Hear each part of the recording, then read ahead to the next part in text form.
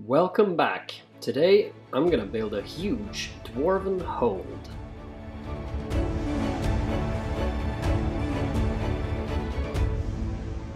For this build I'm using 3D printed models. Uh, the buildings are from Printable Scenery's Dwarven range.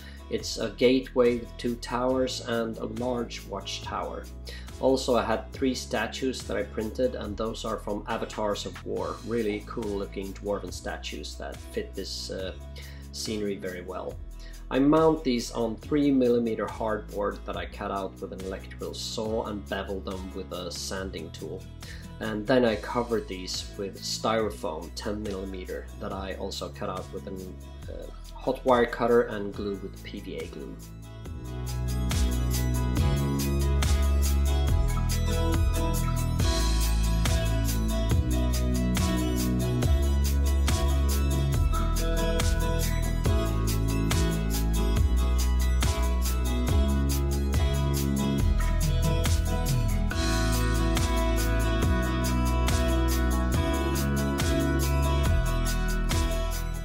I attached the uh, models to the styrofoam with PVA glue and I also before that beveled the edges of the styrofoam with a hot wire cutter to create kind of a slope effect towards the terrain pieces. And after attaching the models I uh, made the mountainside from the same 10mm uh, styrofoam that I marked out with a felt pen and then cut to size with a knife and then I glued it together.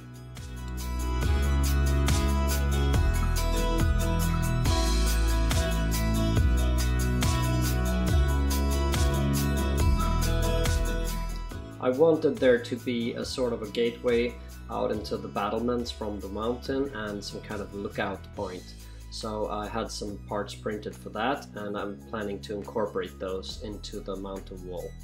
Also the mountain was way too uh, steep so I cut off a little piece of that and started uh, building up uh, the mountain with uh, spare pieces of polystyrene that I had and a lot of glue, a lot of glue.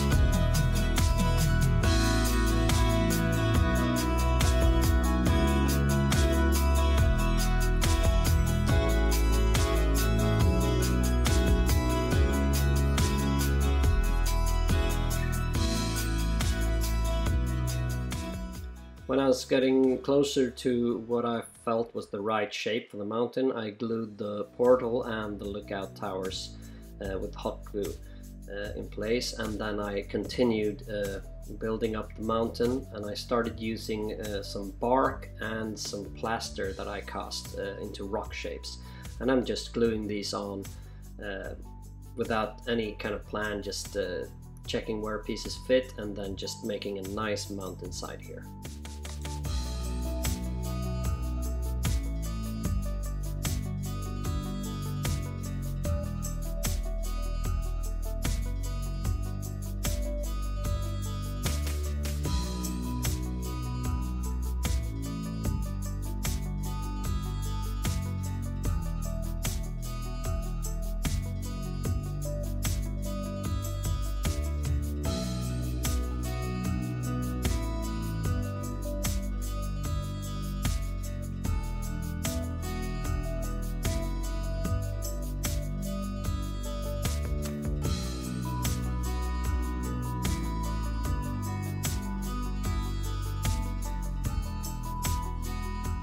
When I was happy with the basic shape of the mountain, I cut off the excess styrofoam with a hot wire cutter. And then I started uh, using Sculptamold to fill in the gaps between the rocks and creating some kind of earthy texture here.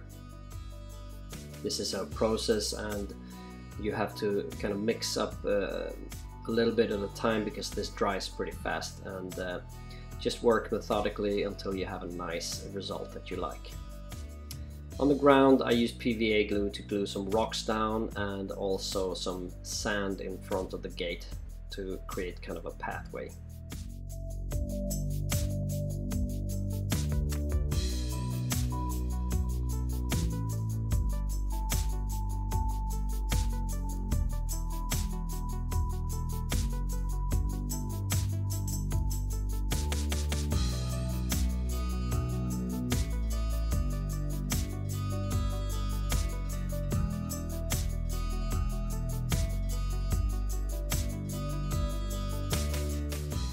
So this is the building done and now I just took it outside and primed it with some grey and brown spray paint.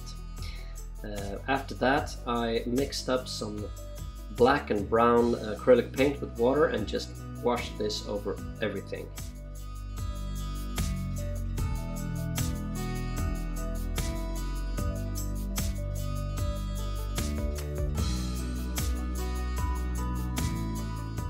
I wanted the buildings to match my third edition Dwarf Army, that's kind of a teal and purplish pink color scheme and I used contrast paints here and uh, that's pretty good for terrain. It's fast and it covers quite nicely.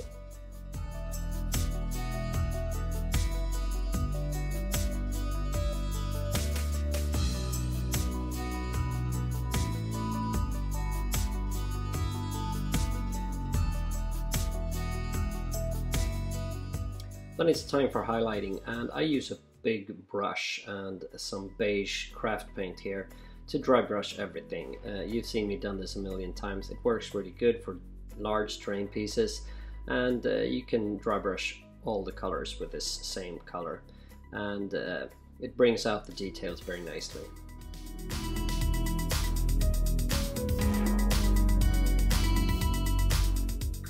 All the stone parts were uh, dry brushed with pure white, uh, very light dry brush to just bring those out from the rest of the colors in these buildings. All the metal parts were painted in a bronze paint and then washed with Agrax Earthshade before using the Nihilakh Oxide technical paint to create a verdigris all over these parts too.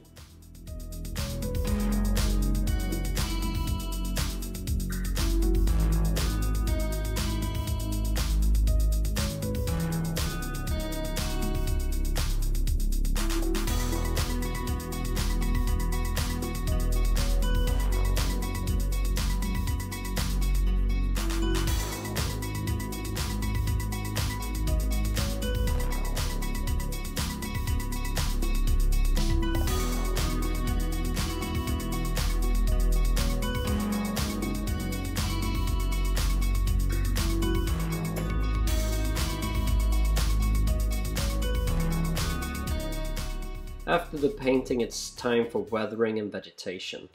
Uh, I've mixed up some dark brown and rust pigment uh, powder uh, that I'm applying with an old brush and I'm blowing at it to remove the excess and I'm rubbing it with my fingers just to get kind of a nice uh, weathered and dirty look here in the in the crevices and, and where dust would uh, naturally uh, pool up and then just PVA glue applied where I want the vegetation and grass to be. So I'm uh, starting out with some coarse turf uh, in a nice green shade that I'm uh, just applying all over uh, the ground and where I find it appropriate on the rocks.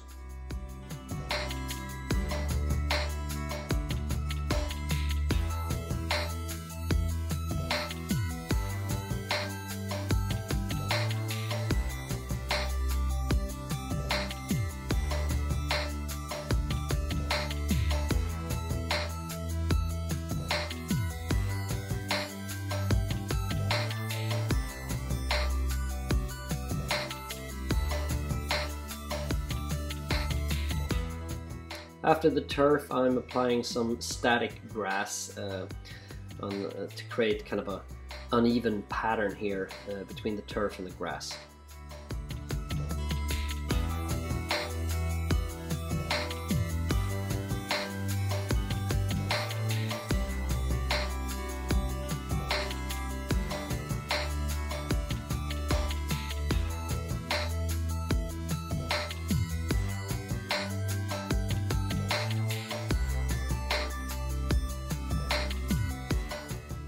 For the last stages I'm adding some trees, bushes, flowers and grass tufts.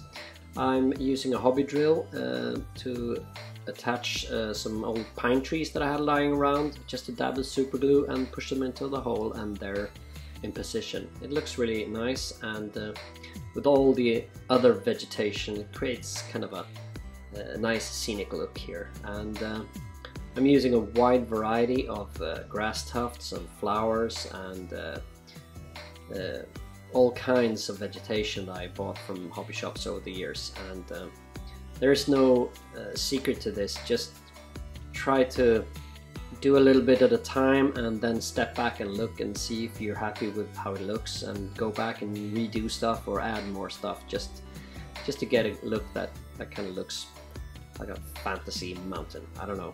Uh, I don't know if you agree. I think it looks good. Uh, if you agree or if you disagree please let me know in the comments. But um, this is the final stage and after this all the pieces are done. I hope you enjoyed this as much as I did. It was a really fun build a bit hard to film because it was so large and I kind of stepped in the way a lot of times so um, I apologize for that but I hope you liked the build and uh, see you next time. I'm doing a lot more builds uh, next year so uh, please stay tuned and enjoy. See you next time. Bye bye.